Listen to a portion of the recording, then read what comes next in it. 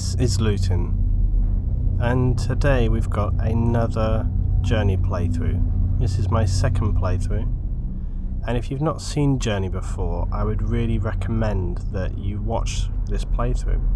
Um, it's not split into parts, it's a complete playthrough, end to end, so you have no interruption. Um, I would suggest to be fully immersed in it and just watch it through. I also have not given any commentary on this because I really don't feel that it's necessary and I think it can detract a lot from the entire purpose of the title. And Journey is a PS3 only title, so if you don't have a PS3 then you know you're not going to be able to experience it. So I would suggest watching this video.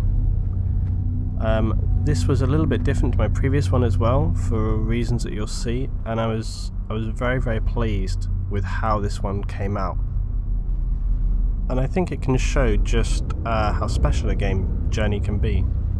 So I won't say too much more than that, but I would please say leave your comments, leave your thoughts. I would really like to hear what people have to think and say about this one afterwards. And I would also say please watch it all the way through. Don't watch five minutes and then make a comment. Watch it through if you have the time or set it aside when you do have the time. I'll also leave a link here for my previous playthrough because that has got commentary all the way through. So I'm going to say thank you for watching this and I hope you enjoy my second journey.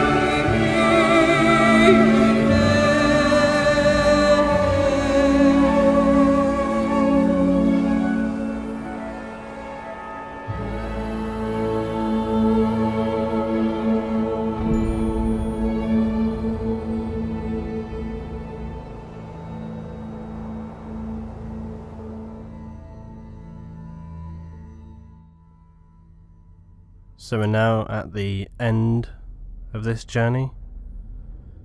I hope that you enjoyed it as much as I did, and particularly the end was an almost spiritual moment for me. Um, it really was quite special. So I want to thank People Toro for playing this one through with me.